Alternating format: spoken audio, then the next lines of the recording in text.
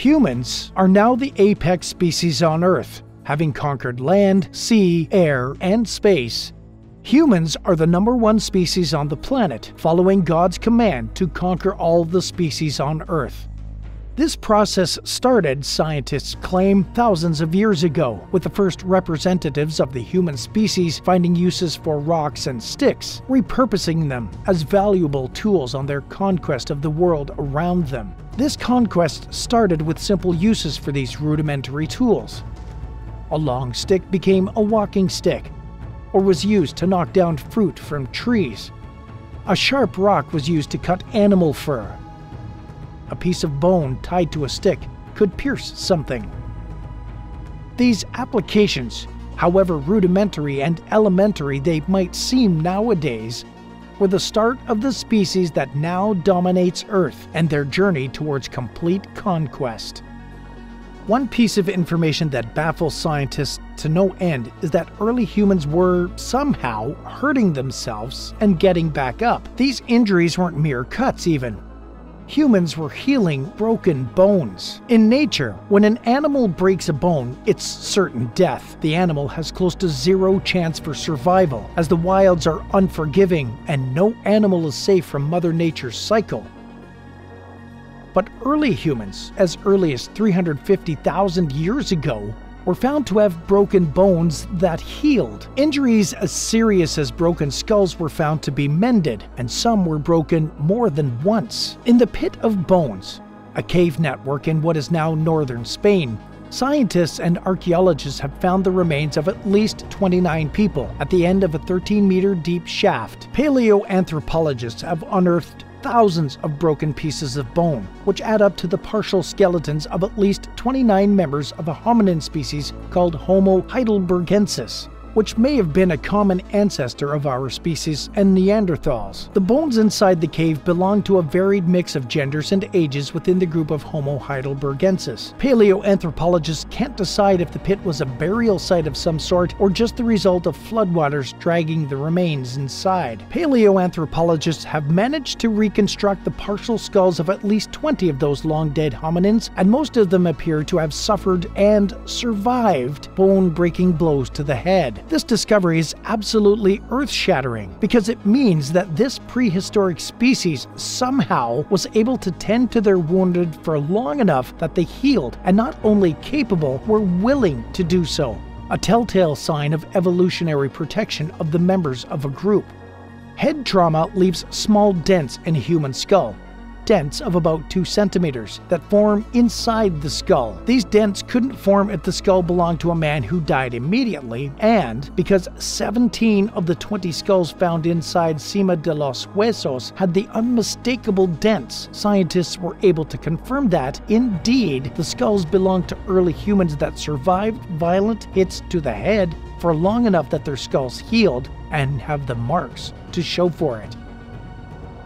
Nohemi Sala, a member of Spain's National Center for Research on Human Evolution, and her team of experts commented on the lesions and dents found on the skulls within Sima de los Huesos.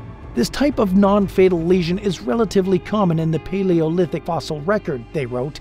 Healed fractures like the ones at Sima de los Huesos have shown up on the skulls of early members of our genus like Homo erectus as well as in Neanderthals and members of our own species. But the burial pit at Sima de los Huesos is rare because it gives us a chance to look at the whole group of hominins rather than just a few isolated individuals. That means paleoanthropologists like Sala and her colleagues can get an idea of how common these injuries were.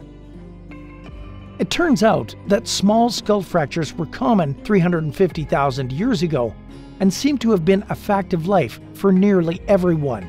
Even the youngest members of the group at Sima de los Huesos had some already healed fractures, which suggests that everyone had a rough and tumble lifestyle from a young age. Male and female skeletons at Sima de los Huesos had about equal numbers of healed fractures, which suggests that men and women face the same hazards with about the same frequency. This points to a dangerous, risky environment for the early humans, and that is only to be expected when you consider that these were truly early humans, about 3 to 500,000 years ago. Sima de los Huesos also confirms reports from another region. The English Museum in Norwich reports having found the Olds hand axe in northwest Europe, a tool reported to be about 500,000 years old. The tool, a remarkable black flint axe, is evidence that early humans humans had settled the region about 500,000 years before the current age, which actually places the tool in the pre Neanderthal period. This discovery shows that the region was subjected to human settlement way before previously thought. The former timeline had set the region's conquest at about 300,000 years ago. The hand axe also points to one of the most intriguing signs of evolutionary influence. The design of the axe is not only utilitarian, it's stylish. This fact alone is significant enough to get next turning. The axe was not made only to work, it was supposed to be nice to look at and handle. This points to a rudimentary idea of style and beauty already existing in the early human population in the Norwich region. Although we have no real evidence for a hierarchy in society at that time, a hand axe like this would have been an enormously valuable object. They would have had to hunt for their food and butcher the animal in order to eat and get material for their clothes and shoes. The axe would have been a very important tool that would have been sharpened and reused over a period of time. Butchery sites of mammoths have been found on the North Norfolk coast around the same area the hand axe was found, so we have several flint tools in the collection, reports Collie Moody, learning manager of the Norwich Castle Museum. But this is the star of the show. This is the oldest one. Discoveries like the one in Spain and Norwich shine a light into a dark period of human evolution.